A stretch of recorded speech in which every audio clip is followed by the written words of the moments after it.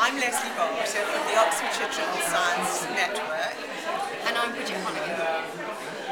The main aim um, of the network is to provide a channel of communication for participating teachers to share good practice um, and to develop teaching and learning in triple science subjects.